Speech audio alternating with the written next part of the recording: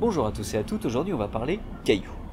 Et justement, l'un des spécialistes de la transformation en cailloux, enfin plutôt d'humain en rocher, c'est Hermès, Mercure chez les Romains. Alors, Mercure, j'ai deux petites histoires comme ça à vous raconter. Un beau jour, il se promenait euh, comme ça, et puis il tombe sur le troupeau d'Apollon, qui s'était enfui de son enclos. Du coup, il a pris le troupeau, et il l'a amené dans la forêt, il l'a caché dans la forêt. Là, il y a un homme qui s'appelle euh, Batus, Batos chez les Grecs, qui, qui a vu euh, du coup euh, Mercure faire ce, ce larcin, et Mercure va le voir et lui dit écoute, si jamais tu ne dis pas que c'est moi qui ai fait ça, je t'offre une génisse et tu pourras, voilà, t'auras gagné une génisse. L'homme lui dit pas de problème, tu peux compter sur moi. Mercure s'en va, il se transforme en un autre homme et il va voir l'homme et lui dit écoute, t'aurais pas vu euh, un troupeau par hasard? Parce que euh, moi je le cherche. Et si jamais tu me, le, trouves, je te donnerai une génisse et un taureau. Alors l'homme, qui n'était pas très riche, il dit ah bah, ah bah oui, bien sûr, euh, bah, il est juste là, etc. Du coup, Mercure se retransforme en Mercure et lui dit traître, je t'avais dit de ne pas le révéler, tu as, tu as, fini par révéler où j'avais caché le, le, troupeau, dorénavant tu seras transformé en rocher. Et il le transforme en rocher. Bon. Une autre histoire de Mercure. Ça se passe à peu près dans la même période. Un beau jour, Mercure, euh, il se promenait et puis il voit trois, trois filles qui commençaient à faire des, préparatifs pour euh, une fête en l'honneur de Pallas, donc d'Athéna. Et l'une d'elles, qui s'appelle RC, tape dans l'œil de Mercure et Mercure euh, voudrait séduire cette RC. Il se trouve que ces trois filles, c'est les trois filles dont on a parlé hier, celles qui avaient, vous savez, celle de l'histoire avec le, la corbeille, avec l'enfant dedans et le serpent. Bah, c'est ces trois filles-là. C'est des sœurs. Et Mercure, lui, c'est pas du genre à, violer qui que ce soit. Il va voir la nuit, il va voir l'une des sœurs d'Hercé et il lui dit "Écoute, euh, j'aimerais que tu m'aides à voilà à séduire euh, à séduire ta sœur."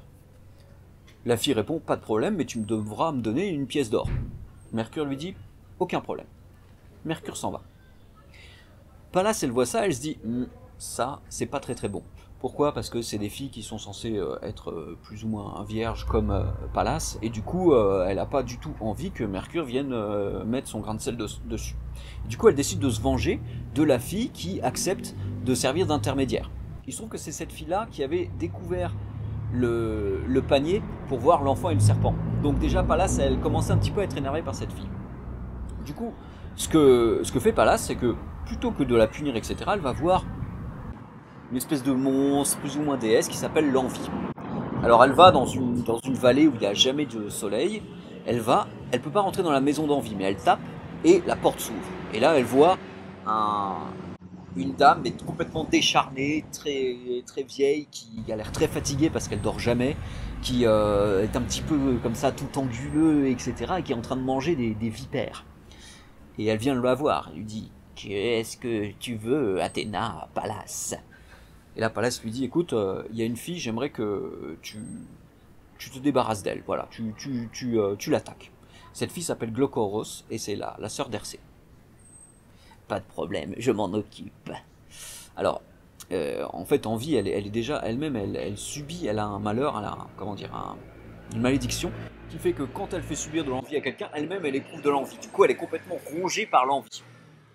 Elle va voir cette fille, Glocoros, et pendant la nuit, elle le touche, le corps, et elle s'en va. Glocoros se réveille, et elle est complètement hyper jalouse de sa sœur. Elle se dit pourquoi est-ce que elle, elle aurait eu droit à une aventure avec Mercure et pas moi, c'est pas sympa, c'est pas juste, je suis pas d'accord. Là-dessus arrive Mercure, et Mercure lui dit alors euh, comment ça va pour nos affaires? Et Glocoros lui dit non non non mais toi tu t'en vas, je veux plus jamais avoir affaire avec, avec toi. Ah vraiment lui dit Mercure. Puisque c'est comme ça, il s'énerve et il fait une magie. Petit un petit, Glocoros, elle commence à sentir ses, bras qui s'engourdissent. Tout son corps qui commence à s'engourdir, elle a froid, elle sent énormément de froid. Et elle, essaie de crier, sauf qu'au moment où elle essaie de crier, il y, a sa, il y a sa bouche qui se transforme en pierre et elle n'arrive pas à crier. Et elle se transforme comme ça.